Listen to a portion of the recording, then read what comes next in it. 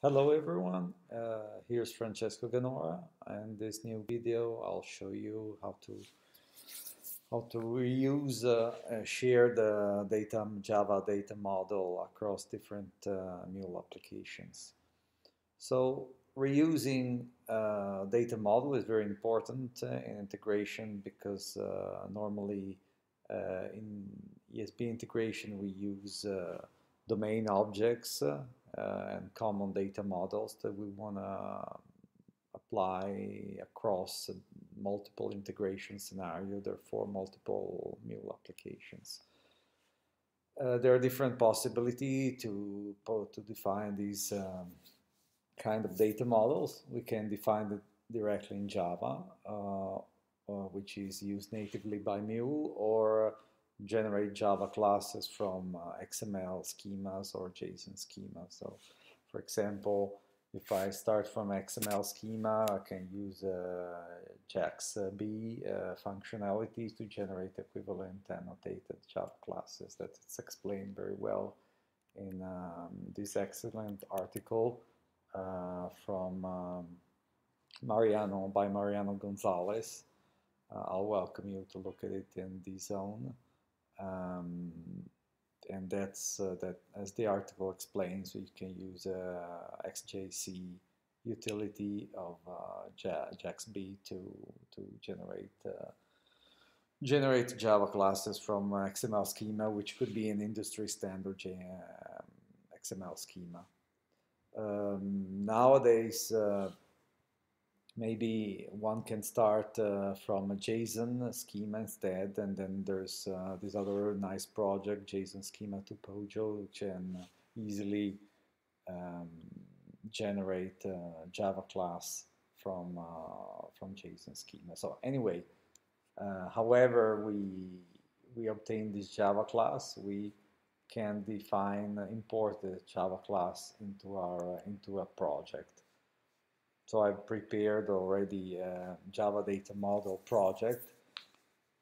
This here I've uh, manually defined a couple of uh, a couple of Java classes here uh, for add for domain objects such as address, of order, and order contains order lines, etc. These were generated manually, so I also used Eclipse uh, or Anypoint Studio to generate the getters and setters of, uh, for these uh, particular objects, as you can see.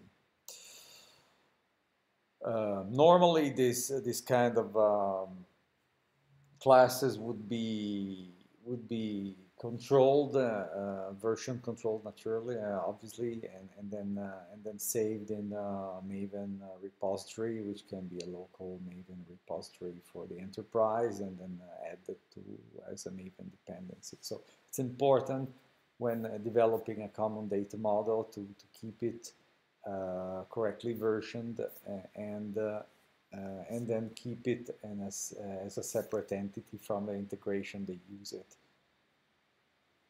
So in uh, this, this uh, therefore, this um, Mule application only contains uh, um, these class definitions. It doesn't contain any, as you can see, it doesn't contain, it doesn't contain any flows. If I wanted to share flows, uh, I would have to do a Spring import uh, uh, into the to, to of the jar. So that that would be anyway another another case. Uh, in this case, what I need to do is just to uh, jar this uh, this project that contains only Java classes. I've done it. Uh, I've generated it. Know, of course, it's very easy to do. It's just a matter of doing um, an export as a jar file, so trivial. I've done this, and then I'm gonna use import this jar as an external library into a client uh, Mule application and then uh, use this data model. Let's see uh, how it's done. It's very easy. So I create a new project. I call it test uh, Java model.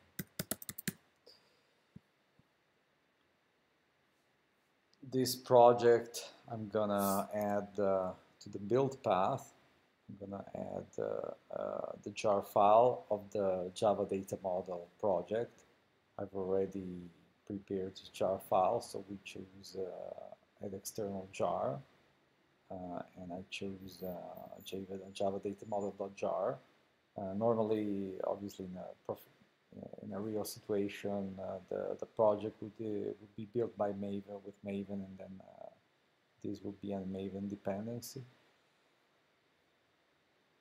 Uh, now that I have uh, this jar into um, the reference library, I, I just see if I can uh, check if this um, data Java data structure are visible from uh, from my application. So yeah, start with the usual HTTP endpoint, very easy. Uh, define the standard uh, HTTP listener, uh, call it that um, test um, Java data model. This is the URI. And um, and then I, I, I introduce um,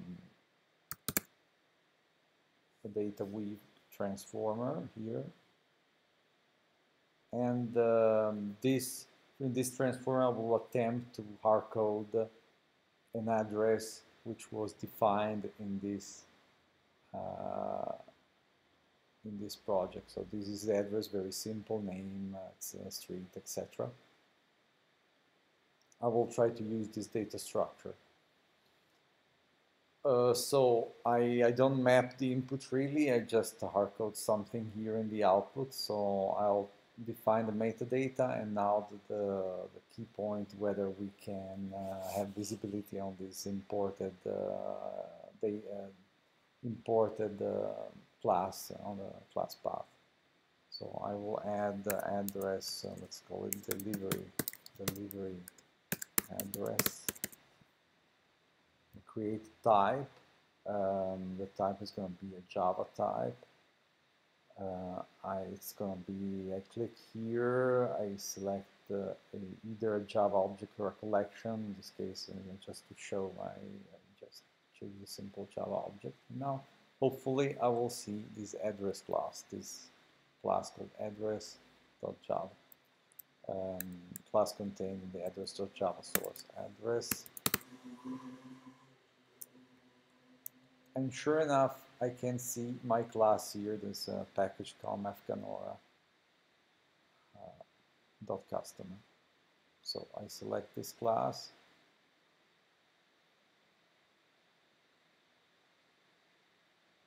And here, uh, as I expected, I see uh, the members, the member property of disposal of this bean.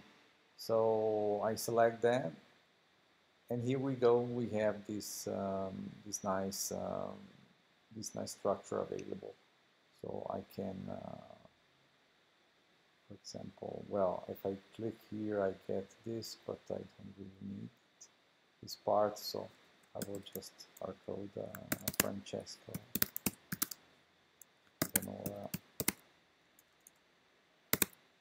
And then I can uh,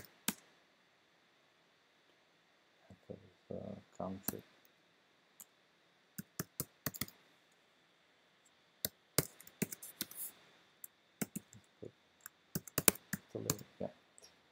And uh, what else? So this is just well, this is just a show uh, demo, so short demo. So I you, you can see I can I can map this uh, I just save it. And this is gonna be uh, with the output um, data type application slash Java. So to, to output uh, some to return something um, let's say let's return in a JSON format. So I use an object object to JSON uh, transformer here Um, so if I invoke uh, this flow via HTTP, uh, I hopefully should get a JSON document uh, corresponding to this uh, as response. Let's try.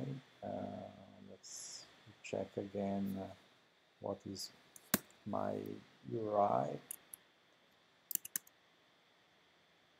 Let's go to Postman. Um, course, I need to deploy deploy this.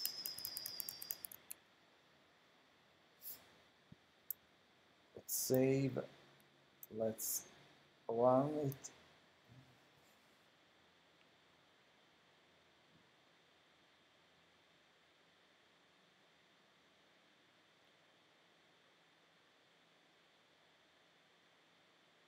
Now it's deployed, I can try hitting this uh, service, this endpoint. Um, let's make it a GET request.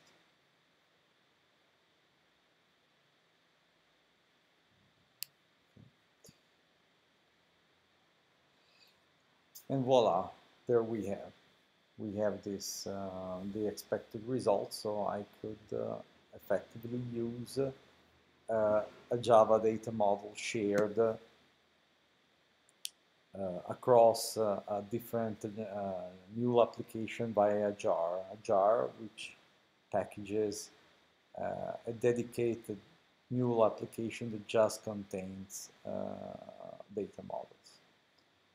So I hope you enjoyed this, um, this demo and uh, and I'll see you at next uh, my next video hopefully soon. Thank you